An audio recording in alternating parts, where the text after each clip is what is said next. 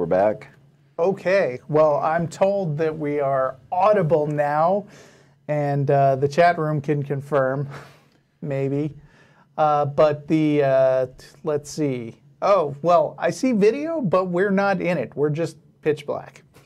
But our names are there. Um, and we're going to do some flying spaghetti monster juju to keep the video stream up. Yeah. Um, I'm pretty sure this isn't the fault of our crew. Uh, we're, we're gonna go. Uh, we're gonna go a few extra minutes at the end of the show to make sure that you get a reasonable length out of it. Um, should I just go ahead and start? And uh, we are resigned to having no video, so you will have to uh, do without our incredibly handsome faces. Yes, I know that's going to be a hardship for you. Yeah, poor poor people. Uh, but Samuel from Minnesota, now you're on the air. How you doing? I'm good. How are you guys? Pretty good. How are you? Except for all the uh, havoc that that the that God is wreaking on our studio right now. okay. Um, well, I just wanted to give you guys a little backstory about myself. Well, I'm 22, Christian, very Uh-huh. tolerable of my family, and considering the indoctrination, I'm I'm pretty tolerable of it all. Okay. Um, anyway, my main question or statement um, is feeling like everything around us was created or a product of design, an innate feeling. And if I could just reword that really quickly, um, without any religious meddling, would wondering if natural processes ranging from life and reproduction and planet formation are a product of design in which life is not accidental. well, I think you know our answer. We don't think so. Yeah, we don't see any, I mean, any we don't reason to, think that to think design. So, um, adolescence or maybe even childhood thinking or feeling that everything was created is not innate. Uh, you know, adolescents are very egotistical. You may have noticed, and they think a lot of things revolve around them. Uh, but that, but I mean, the fact that they have certain feelings or come to some realizations doesn't mean that this is that this is an accurate understanding of the way that the world works. Okay, but would you say that having that sense of being created and all those processes I was talking about, um, having that sense, is that innate or not? Well, I don't I know. That's a don't- good question. I don't know. I'm not a psychologist. I mean, I don't, Uh, I don't I have don't- that feeling, so it's not innate in me personally. But that, you know, whether it is uh, overall in humans, I, I don't know if I could address that or not. Yeah, when when you say Okay. adolescence, you're talking about like teenagers, right? Um, I was more so saying childhood Oh. um, to adolescence. Um, I I mean, I'm just thinking that by the time you're a teenager, uh, you know, it's more difficult to tease apart that difference between what's innate and what is taught because uh, by the time you get to that age, you well, a lot of kids have already been taught a whole lot about. Uh, uh, about what they're supposed to believe as a religion. And so uh, the fact that all the people that you meet have that feeling could just be a product of their upbringing. Now, me personally, for instance, I was raised by a couple of non believers. Uh, and while I sort of toyed with the idea that religion might be true because I was surrounded by it everywhere, uh, I never took it that seriously. And, and in fact, uh, you know, when I got philosophical as a teenager, it was it was more along the lines of, man, it's so weird that everybody in the world has a brain, but I'm the only one who experiences my brain. Uh, but again, teenagers are really egotistical. And I, Well, I wanted to bring up something that John said. He said that he doesn't feel that, um, and he may not currently feel that, of course. But um, in terms of childhood and adolescence, like I brought up, um, has he? ha- Well, I guess have you ever felt that? maybe, I mean, to, to a certain extent, children uh, have a tendency to have magical thinking. so uh, when you're Magical. yeah, when you're when you're a young child, you uh, well, for one thing, you kind of trust what the adults around you tell you. So if they're talking about uh, Santa Claus, you're more likely to believe that. But also, apart from what people tell you, you you uh, you haven't really attained critical thinking skills yet, or even abstract thinking skills. So when you're a young child, you at least what I've seen is that children embrace magical thinking in general, so they'll kind of believe in uh, uh, things that maybe aren't rational. Well, you use the term magical, um, Uh-huh. but but um, I don't. I'm not really talking about so much as something like Jesus. I'm more talking about life and creation, or not even really creation, but how how it's not an accident. I would say. Um, also, Russell used um, that he's not so much entertained by religion, or he didn't used to be entertained by religion, and um, that still kind of didn't really answer my question because this isn't really a religious question. Yeah, but I mean, I'm saying I don't really have the feeling that uh, everything was Okay. designed either. And I think it kind of is a religious question when you boil it down, because uh, to think that something's designed, that uh, I think the concept of a of a supernatural designer is a religious concept. Okay, um, so do we draw conclusions from what is more likely to be true? Yes. Uh, some of the time. Okay, so it's it's how you a- it's how you determine what, what's most likely. That's the issue. Uh, That's the Right. that's the Okay, problem. so which brings me to my next question. Do you believe that life and planet formation and solar system formation is accidental? Well, I don't know. Do you believe that there was a designer for God? Um, I believe that solar systems across the universe are set up in similar ways to where we can draw a conclusion that this isn't an accident because accidents So, aren't really but you think self-correct. that, but I mean, by to follow this line of reasoning, you maybe Mm-hmm. think that the that God having existed in the first place is an accident, as you put it, unless you think that there's a God God. Um, I don't so much think there's a God God. I think that there's just creation and design and Oh. not so much intention, but not accidental. So, so God did have a designer. Somebody, some some higher God made God. Um, I'm not.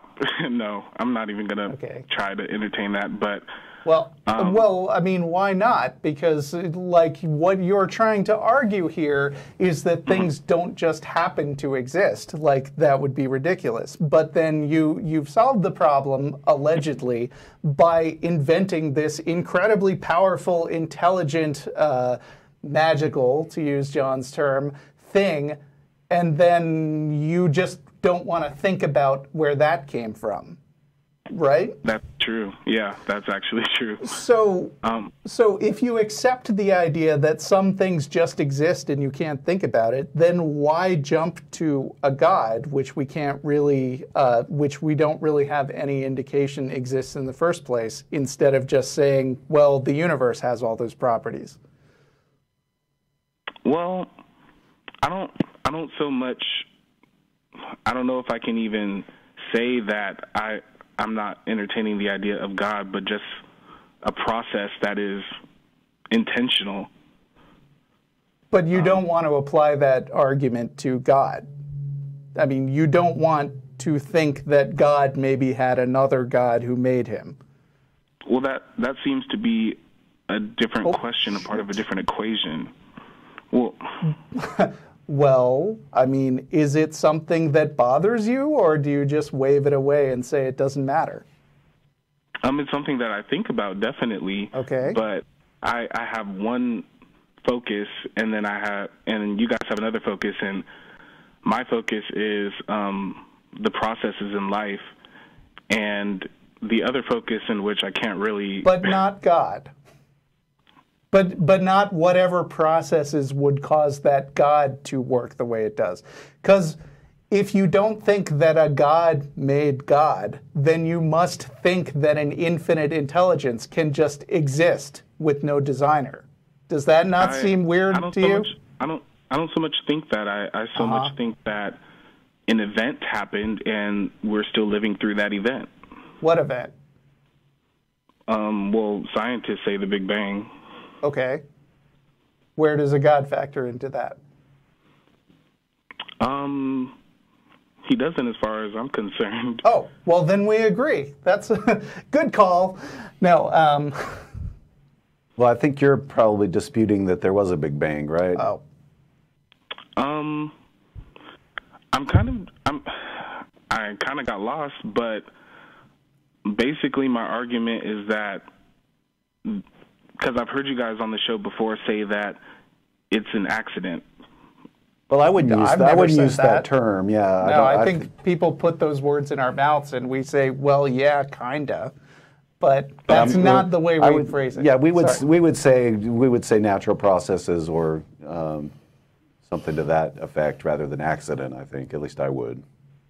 Okay, and if these natural processes happen light years away from where we are, um, does that kind of raise a red flag of intention or purpose or Not, Not for not for me. I mean, what what to you would indicate intention uh, that something was a result of intention and uh, rather than not a result of intention. Well, um, I don't think accidents really fix themselves.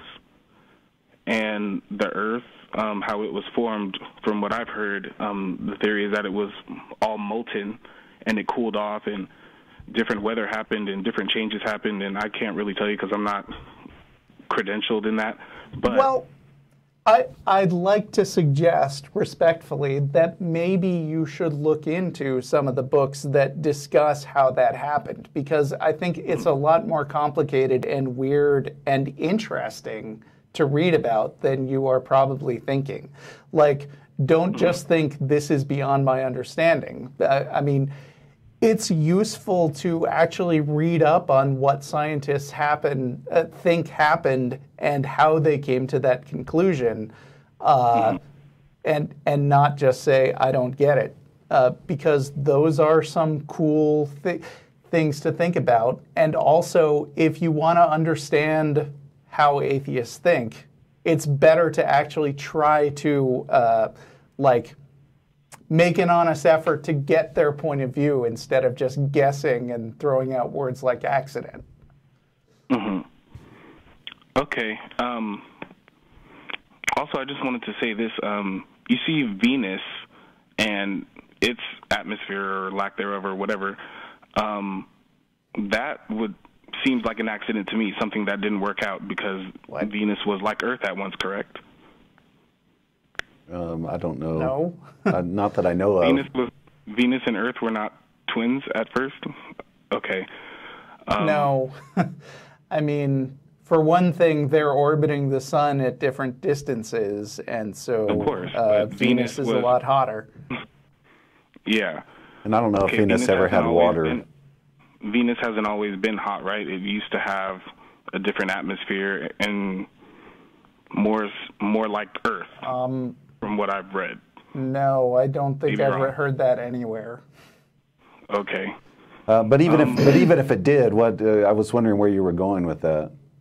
Yeah, um, I, w- I would say um, that Venus is something that could be an accident because by following what I've read, that Venus was um, similar to Earth when it was early in formation, that um, Earth worked out and Venus didn't.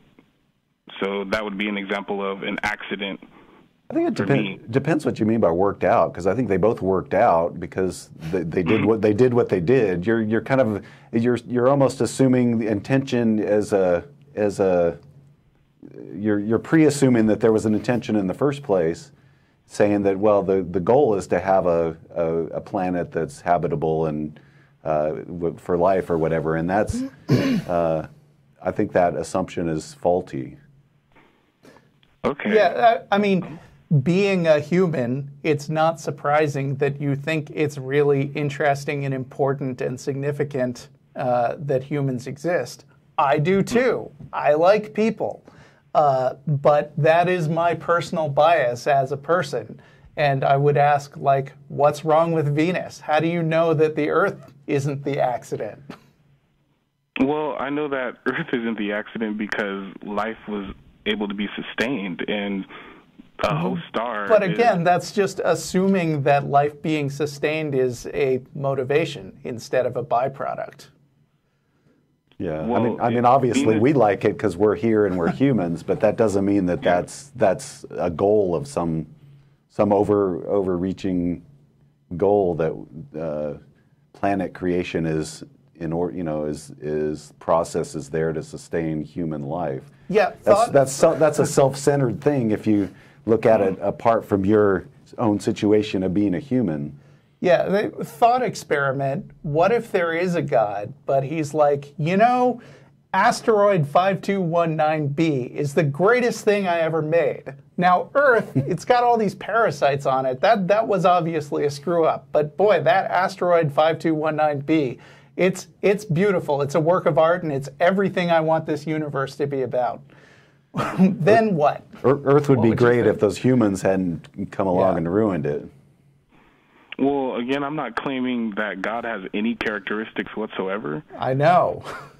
Um, makes the conversation kind of hard to have because uh, I mean I, I feel like you have that point in the back of your mind but you don't want to say it Um, I, I guess it's more so just feeling, feeling is or emotion is just what's holding me back. But um, like I wanted to bring it back to Venus for a second. I know that when Venus was forming, or after it formed, that the magnetic field was lost, which in turn caused Venus to be as hot as it is. Okay. Can we agree with that?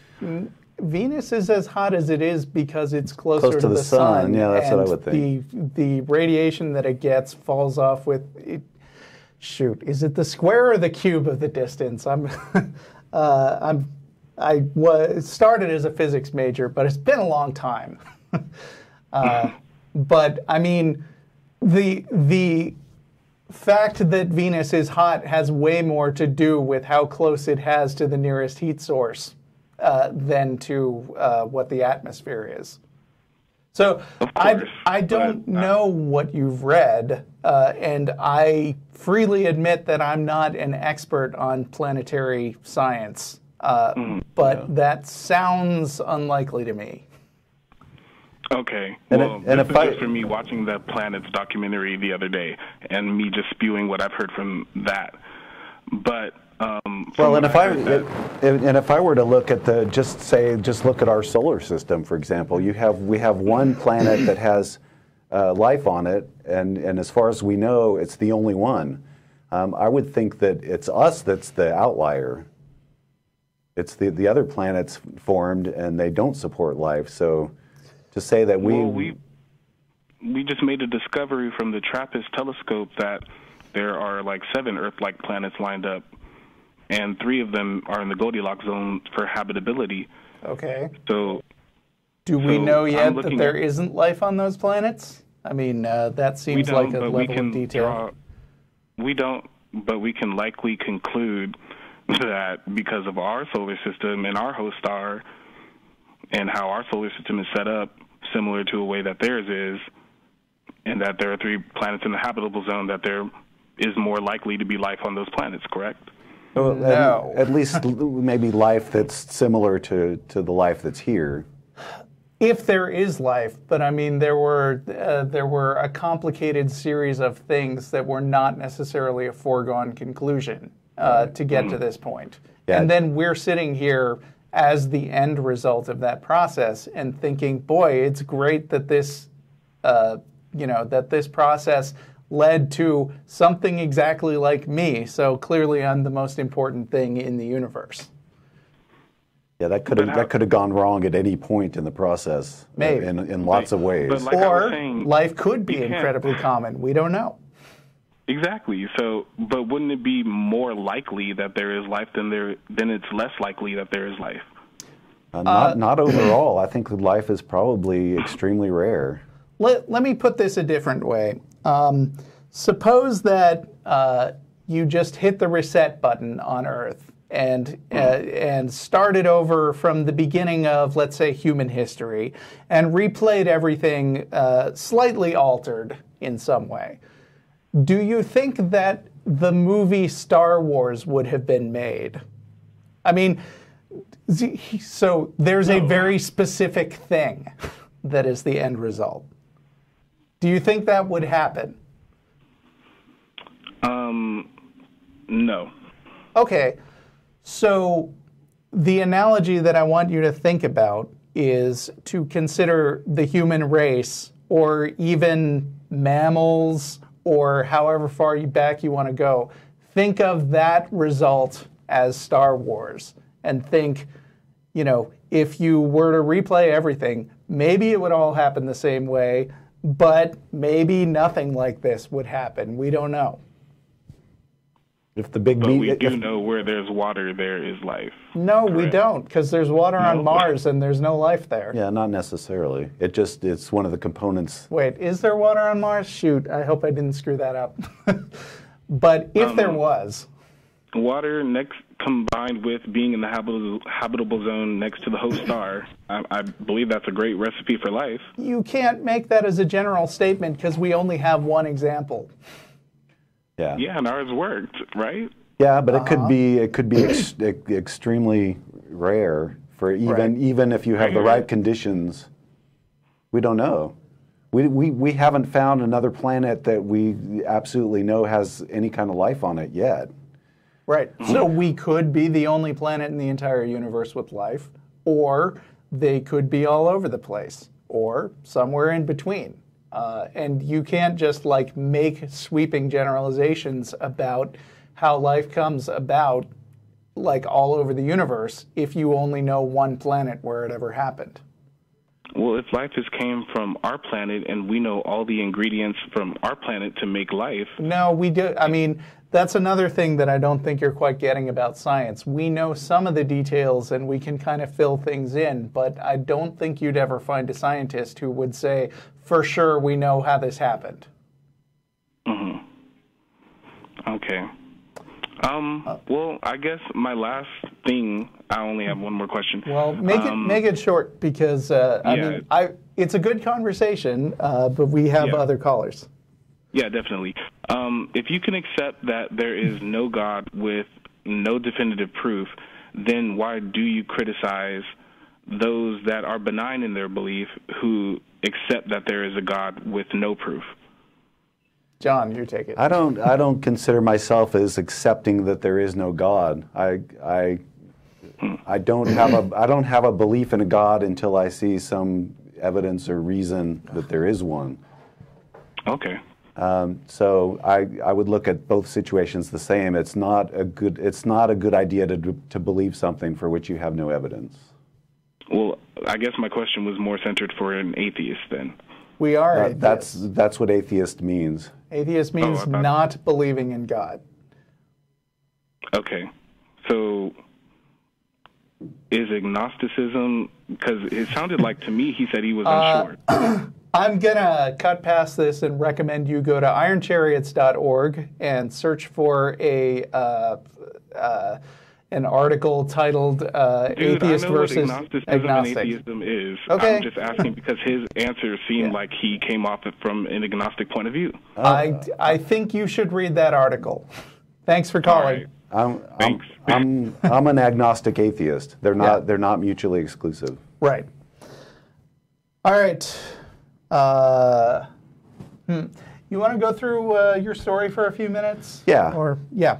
Yeah, I can cover it quickly because uh, when uh, Shirley was on earlier, she was mentioning the stuff that's going on in the schools there, and uh, that's not going on in just in Puerto Rico. That's here in the U.S. Here in the Well, in the the- mainland. the, mainland U.S., the uh, the 50 states as well. And uh, I don't usually bring current events into the show, but this one really made my blood boil. So I, I, I wanted to mention it because this stuff's going on. Uh, this comes from uh, Hemant Mehta's Friendly Atheist blog. Uh, and it's about a, a student who's suing her high school in uh, the Delta County School District in Colorado. Uh, her name's Sydney Fisk, and she's uh, she's actually in college now, but you know the wheels of justice turn slowly. So there's this lawsuit going on about uh, what's going on in the public schools there, and uh, you know I just wanted to to give a brief rundown on what this is because this is like the one of the most egregious cases I've heard of. I know a lot of schools, especially in in the South, do this kind of stuff now and then, but. um the, the, what was going on in her school, uh, teachers at the school openly discussed their Christian faith and church attendance during classes. School board members also did that. Uh, one board member raised her Christian belief that transgender students should be castrated. Uh, a middle school teacher sponsored Bible study classes before the start of the day, enticing students with donuts to, to attend sessions. Uh, when Sidney Fisk uh, spoke out against a, an amendment, uh, a personhood amendment that would have treated fetuses as humans, making abortions more difficult to obtain, one of her teachers reprimanded her publicly for wearing a shirt urging people to vote no. Uh, the teacher added, God gives babies life and abortion is murder.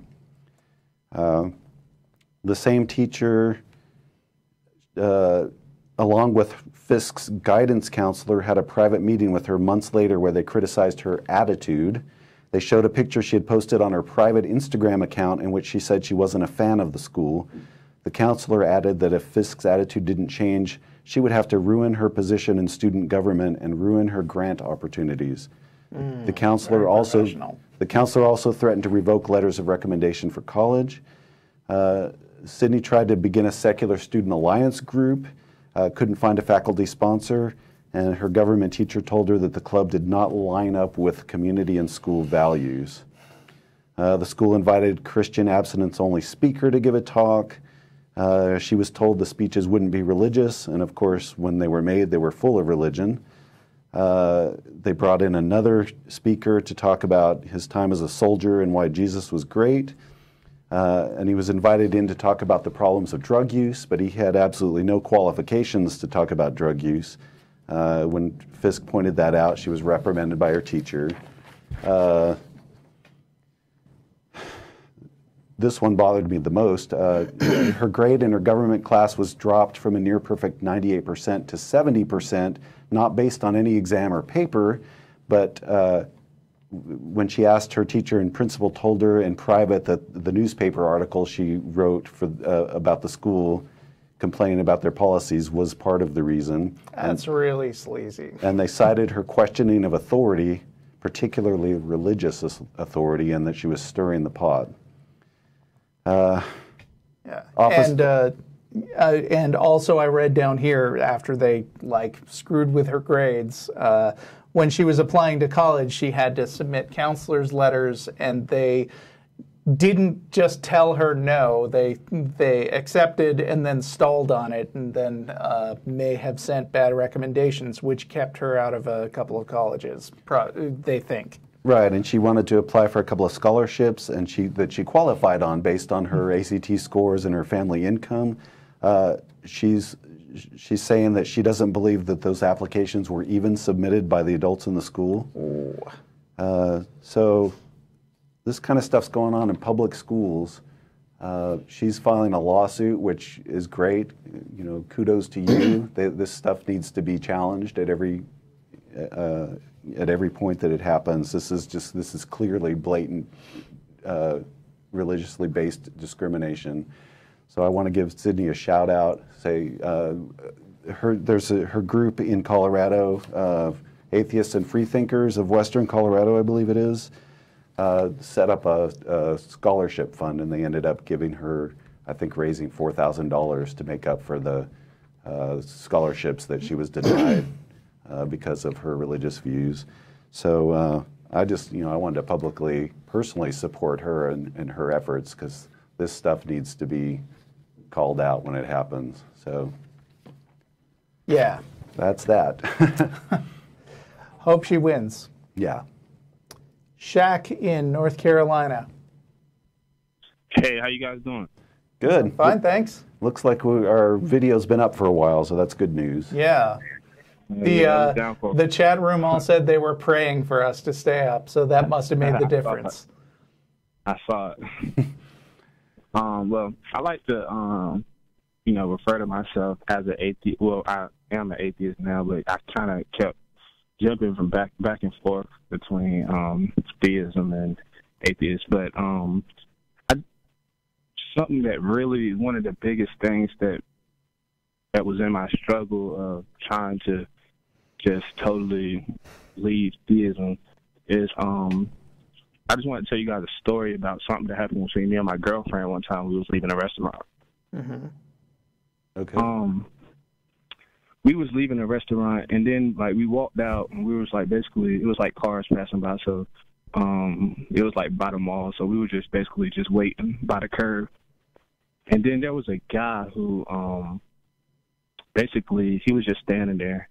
And then like so we started walking towards the car. He started following us and he was like um hey y'all like you know just talking to us and was like how can i pray for you guys today?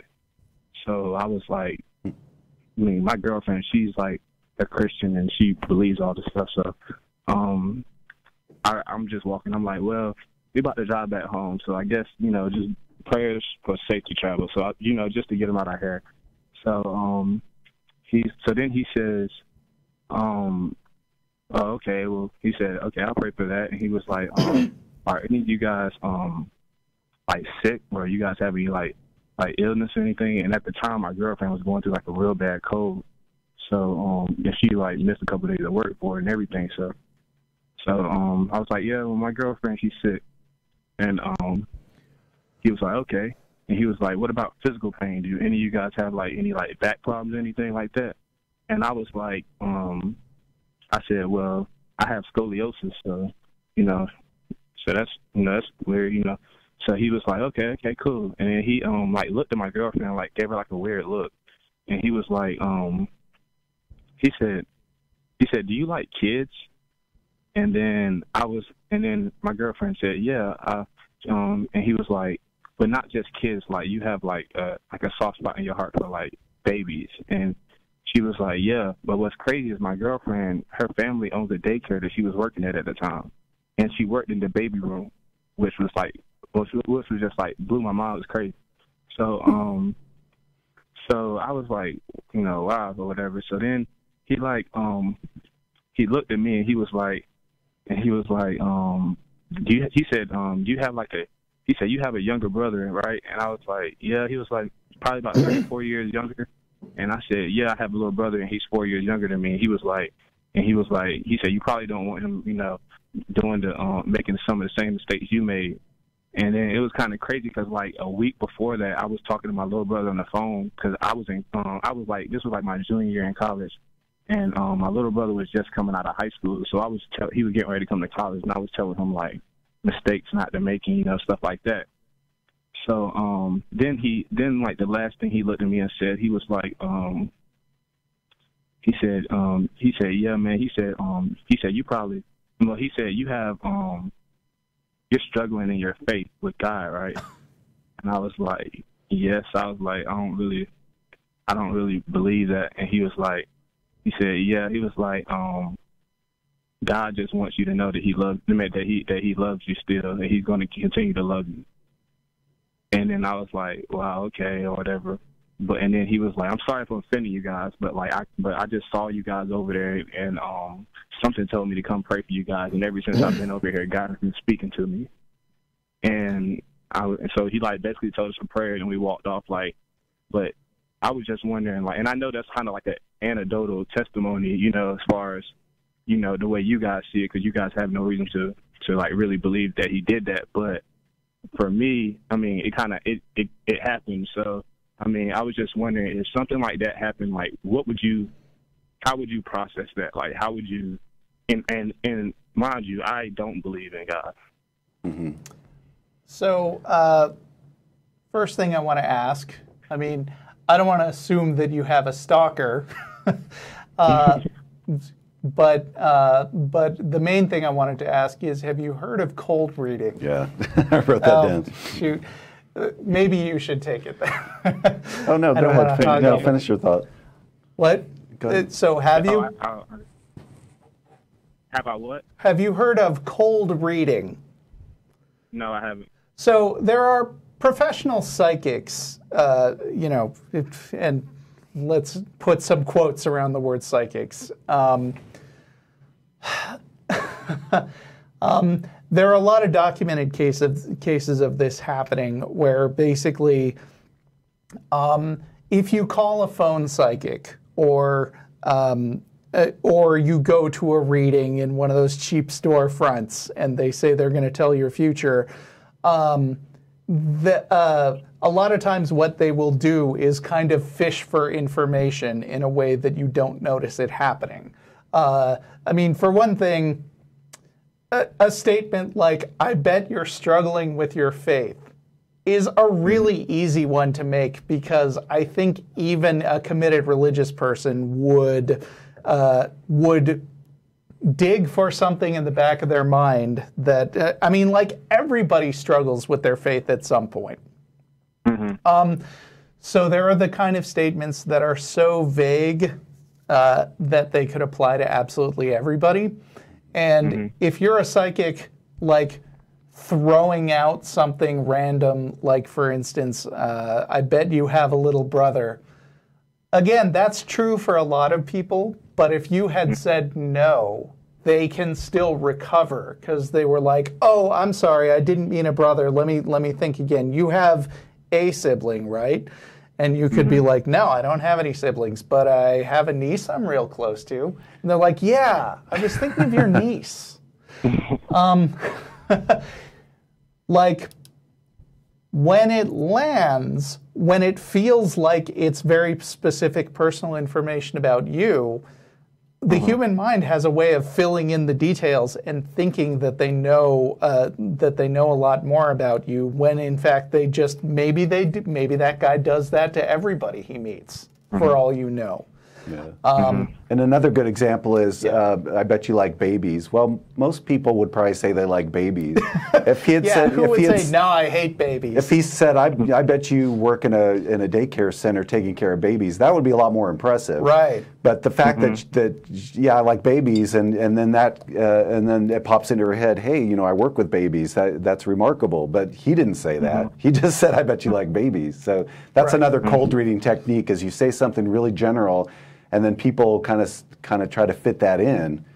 Uh, to, to their lives, and, and then it sort of seems like a hit when it really isn't. also another thing is like you you said like that me and John we have no way of knowing that this has actually happened. I don't doubt that uh, that you described it pretty much as you remember it, but there's another thing that happens because since people look for patterns in things, a lot of times uh, they will retroactively adjust their memories because the story sounds cooler in their heads.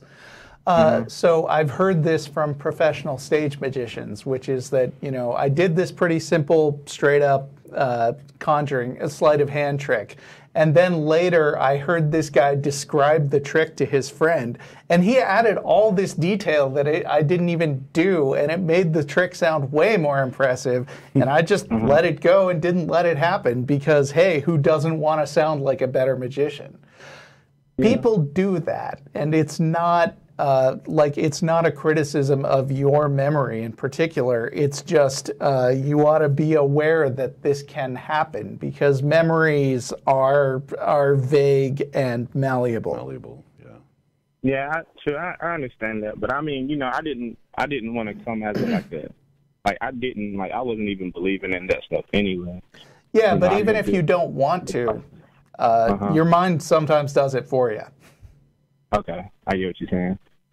I get what you're saying. Well, thank you. I kind of went through like a um process. I, I did believe in God, and then I kind of like did research on the Bible. Then I was thinking, oh, well, the Bible is terrible because you know I'm I'm African American, and then and you know as far as like you know the whole slavery thing and stuff like that, and and I just and with the Bible being a you know a part of that, I used to always ask people like, if a if a slave owner is reading this Bible and a black person is reading and an African American is reading this Bible, like, and he sees the thing about slavery, like, like you know, he's gonna think what he's doing is right and stuff like that. So I kind of went through that, and then Oh I yeah, did a lot- and a- historically a- there are a lot of slave owners who who wrote at great length about how much the Bible justified them.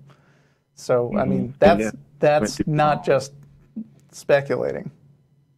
Yeah, and then I kind of and then I went through the stage of like, like I have no reason, you know, like with how do I know that the Bible's true, and and how do I know that that um that all of these things are are as accurate as people think. And I used to always wonder like how people used to, I mean, how people are like. I used to always think, even when I was growing up, I was like, how did, pe- how do other people in their who weren't Christians who believe their own religion, how were they like just as confident as like all these other Christians who think that they're right. You know what I mean? Yeah, so I used to always exactly. just, I used to always just, they used to always blow my mind because I, was like, I know people aren't like just that crazy, like to where, you know what I mean? So I just kind of realized that, like, you know, most of the time the household that you're brought up in is is kind of what you're going to be. That's what you're going to. Yep. Most of the time, not in all cases, but a lot of the time, that's what you are, you know, taught to believe. So Right. I kind of did more research on it. I watched the, um, a lot of you guys' shows. Um, you know, I'm a big fan of the of the show and stuff like that, and I learned Thank a you. lot. And, and I think it's really helped me a lot. And and you know, my my girlfriend thinks that I'm working for the devil, but but I mean, she's still with me, so ma- so maybe maybe it, it ain't that big of a deal. Yeah. Well, but um, hope, hope your relationship is uh, solid enough to uh, last through that. yeah, I, I I do too. But And keep I mean, and, she and keep understands how I feel. And keep thinking about it. Keep questioning it. That's good. That you're examining stuff that you're told, and she, you know, and that's the thing that gets me. Like I don't understand why some like why like why some Christians like like they don't even want to hear like any possibility. Like I like I used to always tell my girlfriend whether you disagree or or agree, like you should still want to get as much information to form your own decision instead of just Right. ever since you're born all you're taught is everything in the Bible is true, everything in the Bible is true. Like you need to form your own opinion, and I thought you guys you guys show really helped me out um with that. So I just want to tell you guys thank you, and you know keep doing what you're doing, and um thank you for answering my call. well, thank you. All right. Appreciate it. Yeah, thanks. All right. Bye. Uh, yeah, I, I hope he reads up on cold reading because it's actually very interesting and very tricky. Yeah, and some people are really, really good at it. There's Yeah. the who's the guy, the John John Edwards. Yeah, he wasn't even all that good at it, honestly. He'd- let's see, John Edwards was the politician, and John Edward, I think, was the TV psychic. Oh, okay, okay. But I mean, John Edward, not only did he co- cold read, but he would go through like hours and hours of interview and just throw out the video of people where he just wildly missed the mark. So Yeah. he could selectively edit to make himself look good. Yeah. Um, Also, speaking of doing research on stuff, uh, uh, I just threw this thing out off the top of my head. Uh, there is, in fact, uh, water on Mars in the form of ice anyway, and That vapor right. in the atmosphere. Uh, there don't seem to be any large bodies of water on Mars. However, there is a Doctor Who episode called The Waters of Mars. So, very significant. um, so, who's been on for a long time? David, uh, Arkansas. Hello. Hey, David. Or David. is it Arizona? Can you hear me? Arkansas, yeah. Arkansas. It's Arkansas. Can you hear me good? Yeah. I can hear you. Okay, great.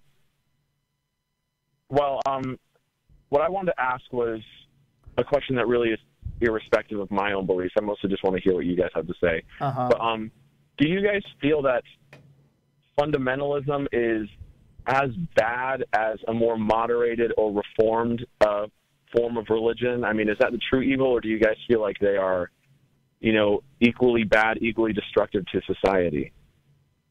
Oh, that's a good question. Um, I mean, fundamental, fundamentalism and literalism, right. kind of a deal. It's complicated because I know, you know, playing devil's advocate, so I'm just spoiling. No, I don't think that uh, moderate religious people are as harmful and destructive as fundamentalists. Uh, But talking to atheists who do think that, the argument that they would make is that uh, the the moderates normalize religion, and so the the basic problem overall is uh, believing things that aren't true, being gullible, and and having a willingness to accept nonsense into your thought uh, into your thoughts, and so. The idea being that the moderates give cover to the fundamentalists and make the fundamentalism possible, or, or make it possible for them to take hold. That said, the fact that fundamentalism takes hold anywhere is the serious problem. Um, and uh, I, I feel like the, the momentum and direction of people's beliefs may be more important uh, than uh, than the actual particular belief that they happen to be at, because human interaction is very, very complicated, and I would like to have everybody believe true things and not believe false things, but that's never going to happen because everybody is working on incomplete information fundamentalism is harmful because it uh, actively, uh, like fundamentalists, actively seek to uh, legally enforce their stupid beliefs on other people. Uh, and they, in some cases, like persecute uh, people who believe differently or, or have a different sexual orientation or they subjugate women and the fact that people actually lose their rights or don't have as much freedom as they would otherwise is the real harm of fundamentalism. Yeah. Now, if a fundamentalist mm, abandoned fundamentalism and moved off to this sort of vague, liberal, uh, uh, not very serious belief in some force in the universe, are they still believing irrational stuff? Sure but am I going to tell them that move you made, now you're even worse, or it didn't make any difference, you're just as bad as you were before? I don't see it that way. I think that uh, it is a reduction of the amount of irrational stuff they believe or the, the uh, how seriously they take it. And I think less of that is always a good thing. John, what do you think? Yeah, I think what Russell alluded to is the harm is not the fundamentalism itself; it's that it's it's what actions it informs. So if somebody's a really fundamentalist, Bible literalist, literalist thinks that it's inerrant and uh, homosexuals should be put to death, and if they think that, that's one thing. Uh, if they go out into society and try to impose that on everybody, that's that's the higher level of danger. So it's it's more than just being a fundamentalist. It's what are you what are you going to do with that that's causing the harm? And in that respect, moderates don't don't go out and seek to uh, cause as much harm. Mm-hmm. Okay, and I guess that was another way to say that is that um, if if like a more moderate, I don't know, maybe you called it wishy washy. I don't remember, but I might have said that. Kind of, maybe, but uh, is is basically just within the spectrum. I know that, like you said, some of your harder atheist friends would disagree and maybe say that like it's still bad, and I I'm not. I'm mostly just staying away from that, but um, or not having an opinion on that part. But just whether it's within the spectrum of like a not necessarily a perfect society, but just an okay society, that one that does kind of generally promote the general welfare, basically. Yeah, and I think that in a lot of cases, uh, given the various people I know who are and aren't religious, uh, I I like people who have some amount of religious belief that they will accept being criticized or ribbed about, but still basically treat other people well and and are kind of live and let live and care about doing stuff like helping people in Puerto Rico. Uh, like I like those people more than uh, if I knew a very hardcore atheist who I totally agreed with about God, but is kind of a jerk to yeah. to okay. like everybody, to me and other people.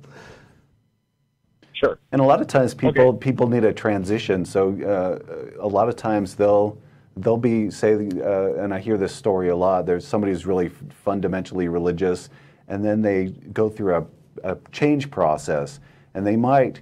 Uh, try a more moderate religion or set of beliefs on for a while and you know they it's really unusual for a fundamentalist to immediately jump to to not believing uh, so that moder- moderate those moderate religions give them sort of an opportunity to transition. So they, they your you know beliefs tend to change slowly. So uh, people, individuals, and society as a whole can kind of transition to a more secular position by going through those moderate steps.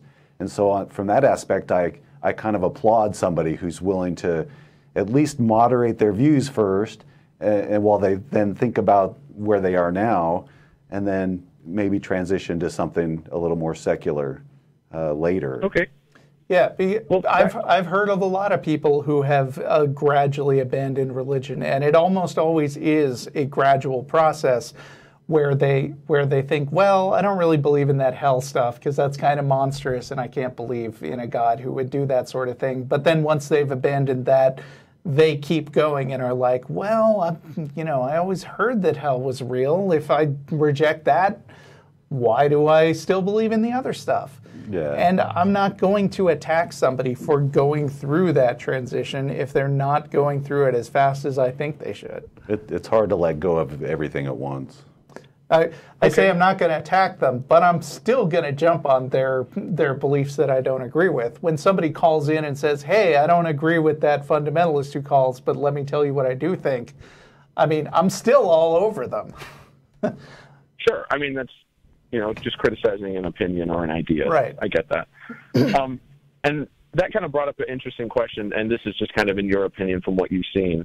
Um, do you think that there it's easier to kind of like, or have there been more people who have changed from a fundamentalist literalist version to non-belief, or is that kind of easier than someone who has more of a moderate uh, position and then changing them to non-belief? Just in your opinion, have you seen more go from a harder stance to non-belief or a moderate position to non-belief? I don't know. I mean, My, my, my sense is mo- that moderates, it's probably more common with somebody who starts off with a moderate belief because they're already kind of open to question. Whereas, Yeah.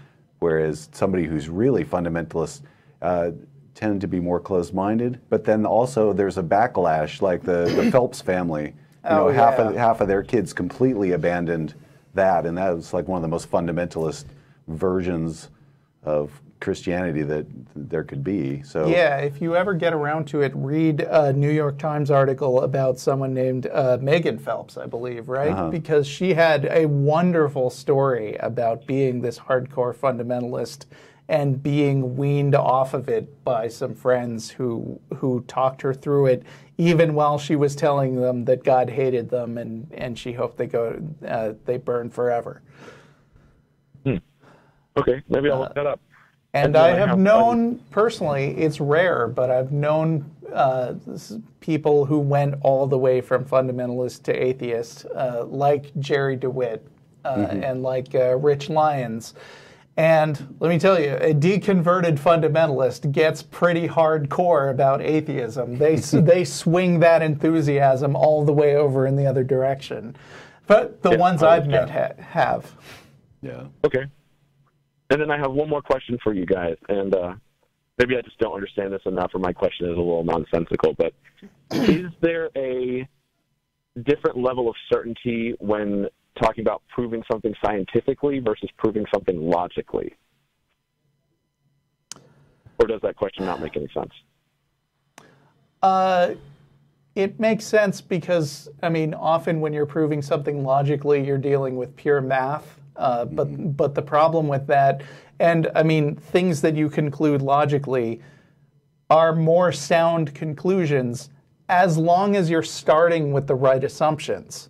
But the problem with Yeah. not thinking about things scientifically is that you can construct this elaborate model in your head, which is consistent, but it's got no relationship to anything you've observed. And Okay. I think a lot of theist uh, apologetic arguments go that way and just construct this very self-contained logical argument, but they're starting from bad assumptions, and so none of it makes sense. All right. And my question was more in regard to people who are trying to either disprove God if they if there's some different level of certainty in your guys' opinion between saying, oh, I'm going to disprove God uh, scientifically, which I don't think is possible, versus saying I'm going to try and disprove God logically. And that may also not be possible. But I mean, I, just yeah, I don't, I don't buy it. Okay. All right. Um, So, uh, yeah, we're that's basically all I have. we're but, almost um, out of time.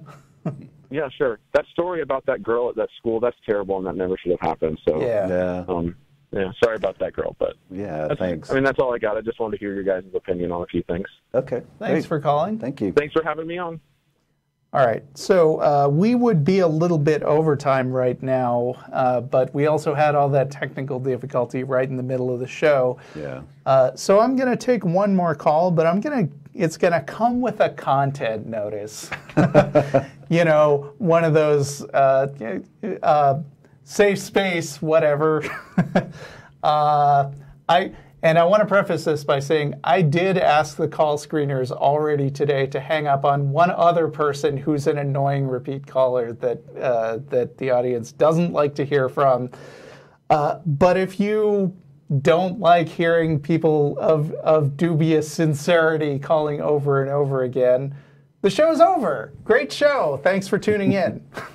uh, if you do, I am time boxing this to five minutes. Hello, Hamish from Scotland.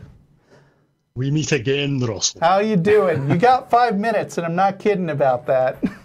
Well, I'm deeply offended by the way you introduced me. Of course you are. You're deeply offended every time I talk to you. Allow me to proceed. I have a challenge for the atheists. Okay. that they are absolutely immoral okay. and hypocritical, uh-huh. or that they are secretly believers. Okay. Let us have it. Or is that Theists, it? Chris, Christians are able to justify animal agriculture, atheists or not. What? There is no there is no trait present in an animal which, if present in a human, would permit them to fact. Basically, what I'm saying is, why is it okay to eat animals but not humans? Why wouldn't it be? Because they are sentient creatures who suffer. Um, shrimp. I, by the way, you're opening up a huge can of worms because we have a lot of vegetarian and vegan viewers who are totally on board with you, and they will email us to tell us that we're immoral jerks and we should have listened to you. But and, and we've um, heard and we've heard that exact argument Yep. in the same words from vegans about the traits. true. Russell, answer this. Why Uh-huh. is it okay to farm a cow but not a human? Um, because cows have not been able to express that they don't want to be eaten. And Well, I can already they can. feel the emails coming in, for goodness sake. Uh, you think we, we as a society have come to an agreement that uh, everybody who has a say in the matter is worse off uh, if we just allow killing and stealing, which is why pre-Judeo-Christian uh, societies like uh, like the one under the Code of Hammurabi, for instance, already had rules about no killing and no stealing, and and like ancient Chinese cultures that way predated the Old Testament also had those kind of rules. Uh, because we've recognized that this is just a more comfortable way for us to live. So you said that cows cannot express that they do not wish to be consumed and farmed in factory farms, correct? Um, I said something like that. I'm uh, I'm stepping back and and thinking very carefully about how much to agree with this thing I just said. Well, Hamish, think Ha- right. Hamish, I'm really curious because the, the, the angle that you bring to this that isn't just like all the other times we've argued this is that you say Christians can justify uh, yes. eating animals. So I'm, I'm, I'm, us. Yes. I'm curious what we the have souls. Well, We the have Christian morality God is always us. God says so. Yes, but the atheists cannot justify consuming and farming animals. You said. Wait a minute. Wait, wait a minute. If anything, I would think your argument is that atheists have no reason not to eat animals, and they have no reason not to eat other people. So it feels like what you should be arguing is why we don't eat people, because it, if, as you say, we have no morals, then My- then my what reason would would we have not to eat We animals? do, we do not eat people because we have souls. Well, no, You but think from the atheist have point of view. I don't. Yes, from the atheist point of view, there is no good reason to farm animals but not humans. Yeah, there is. I mean, it is a very efficient way to stay alive. I don't wanna- from I- our point of view. I don't want to be farmed. It is not. It is not. Meat is carcinogenic, and it takes Okay. up a lot of. It's not good for the environment. Okay. But At but this slavery point- was good. slavery was good for those reasons Right. that you brought up. It was efficient for some things. So, can you agree that there that from an atheist point of view, and barring all the vegan arguments, uh, there was no reason for an early hunter-gatherer society not to just kill this convenient source of protein and eat it because it's way easier than collecting a bunch of berries. Perhaps it was okay for them, but we live in a first world country, and it's a very different context. Well, we're creatures of habit. Are you a vegan? slavery was a habit. True. Are you a vegan? I'm a Christian, so no, but I have a justification. I know Christian vegans. What are you talking about? So, so it's not, so it's not carcinogenic if you're a Christian. God provides a way. Okay. And that's your five minutes. Thanks for calling. anyway, so that's really our show. Okay. And uh, thanks for joining me, John. Thank you. That was fun. yep. Uh, that's the Atheist Experience. See you next week. Join us for dinner, Star of. India, where we'll where you can be a vegan if you want to. Yep. You can eat meat or not eat meat. Ah, and I forgot you are vegetarian. No, I, I'm not anymore. I was a Oh. vegan for nine years, but I'm not. I fell, I fell off that wagon. Okay. uh, that so if you uh, want to write to us, that email is kenham at answersingenesis.org.